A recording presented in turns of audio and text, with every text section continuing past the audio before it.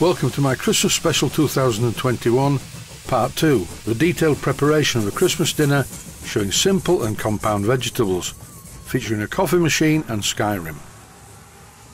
I'm going to start with the Brussels sprouts, and according to Google, they're called Brussels sprouts because people in Brussels like eating them. Normally, I would buy them in a pack from the supermarket, but this year I thought just for a change, I would buy them still attached to the plant.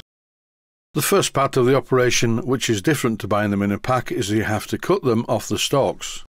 But then it's pretty much the same. You cut the bottom bit off and remove the outer leaves, which are usually damaged or dirty. I always cut a cross like this in the bottom of every Brussels sprout. I got this idea from my grandmother. I used to watch her doing it many, many years ago. By doing this, they do seem to cook a little bit better. You have to be careful, though, that you don't cut your fingers. There's a distinct technique where you press your thumb at the side of the sprout, which stops the knife from travelling too far. In no time at all, the first four of the sprouts were in the pan. Quite a few to go yet. Here's the same principle one more time. Cut the bottom off the sprout, remove the damaged leaves, and cut a cross in it. For these jobs, it's really important to have a carrier bag hung on a chair next to you. And that way you can keep the surface that you're working on clear of debris, Time to cut off a few more sprouts. I don't think I like doing this. But after a while, I did realise that they felt slightly different to the ones in packets. I wasn't very happy about the amount of waste, though. The sprouts near the bottom of the stalks were damaged, and the ones at the top were too small. I'll see whether the taste and texture of the end result justifies the means. The next vegetable to process is broccoli, one of my favourites. These are like small trees, so you cut the stalk off them, and carefully remove the individual florets, just trimming them to how you want them to look. I still have my carrier bag on the chair at the side of me, so any substandard florets are thrown into that, but most of these are going into the pan. I bought plenty of broccoli, so I can afford to throw away the smaller pieces. Here's a shot of the carrier bag that I dumped the rubbish in. In the pan now, I just have one piece of broccoli. Time to dismember the second one. When I was a schoolboy, I wanted to be a doctor or a surgeon. And all these years later, I still enjoy cutting things up.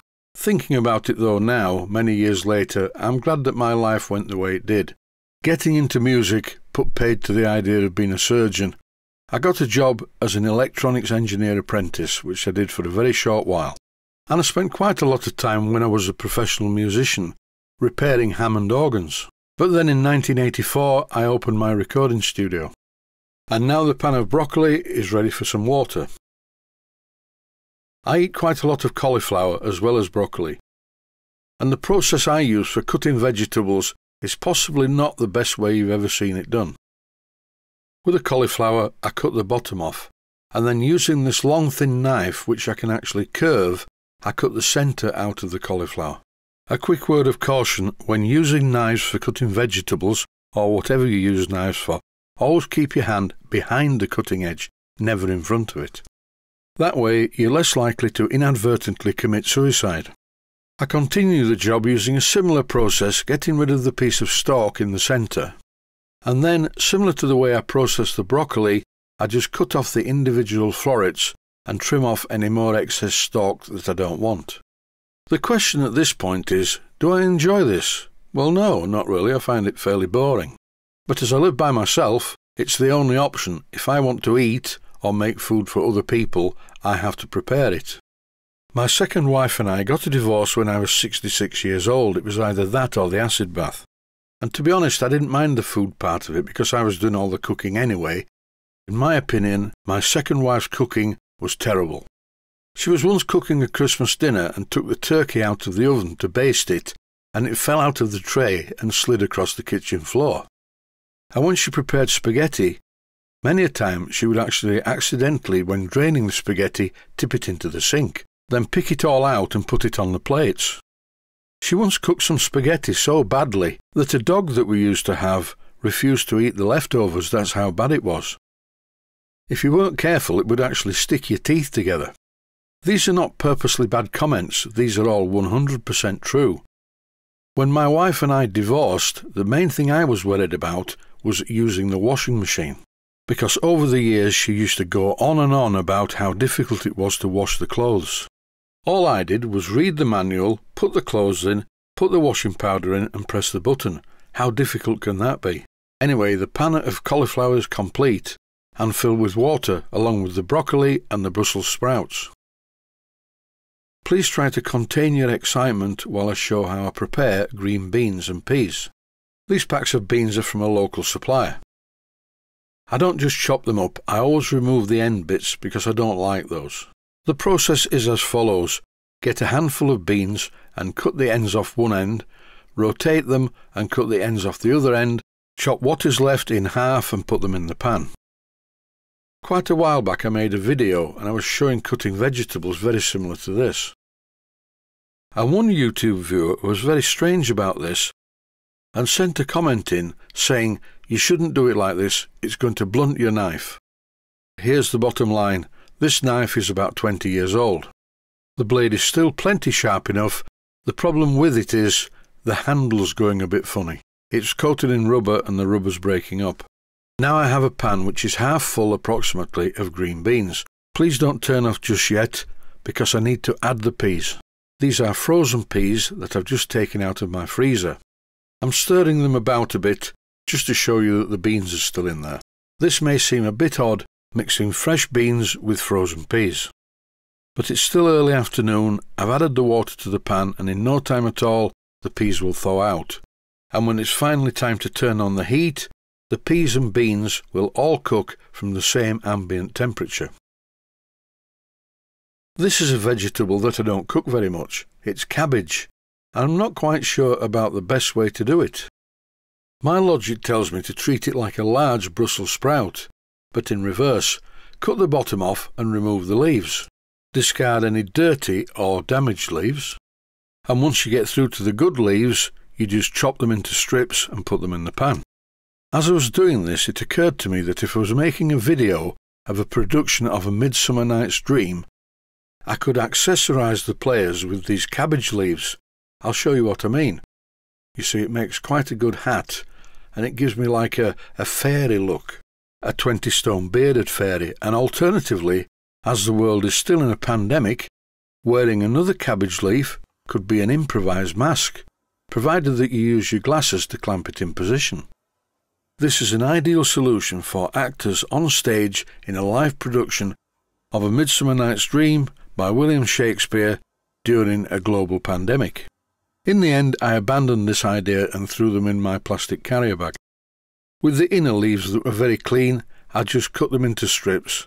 After a while, though, I did try a different technique. This seemed to work quite well, so I could cut more than one leaf at a time.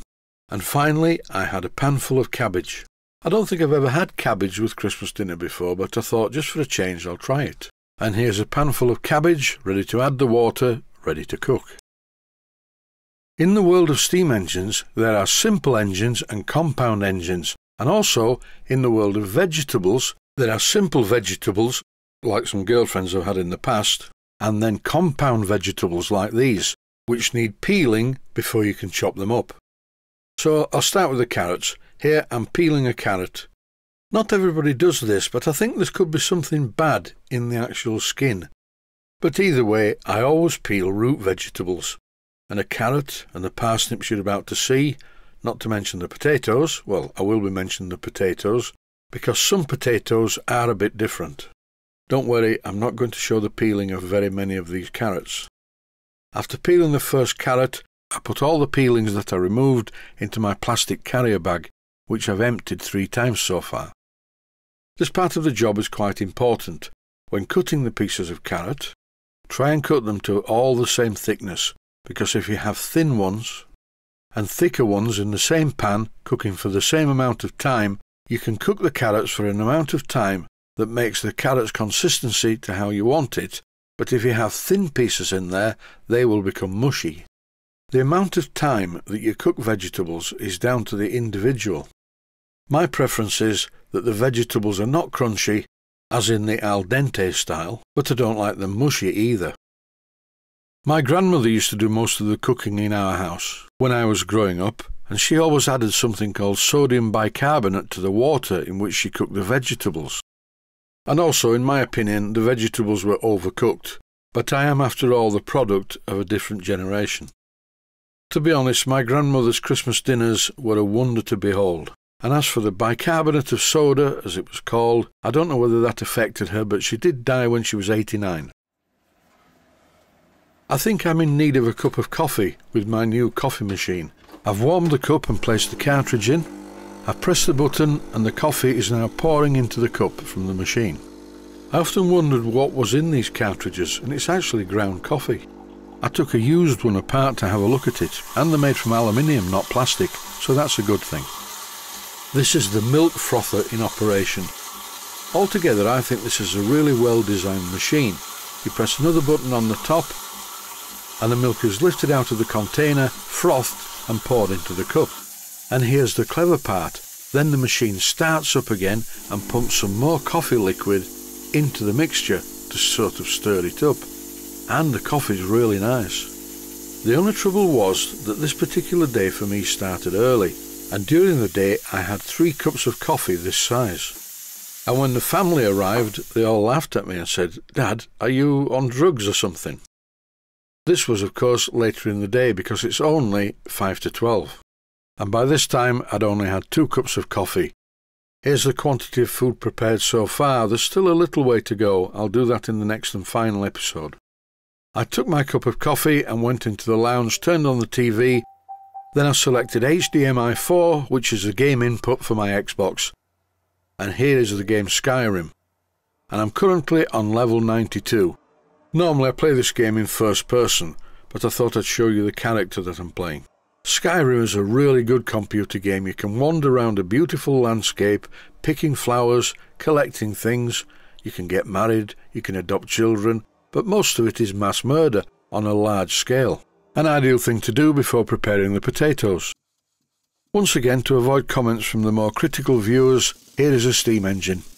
I've made it look a bit cartoon-like to fit in with the computer game. And that's it for this episode. Stay healthy, thanks for watching, and I hope you found it interesting so far. Please take the time to visit my Mainsteam Models website and click on the section of the website that says Video Playlists. And by doing that, you can find other videos that you may like to watch. And by using the playlists, you can actually watch the videos back to back.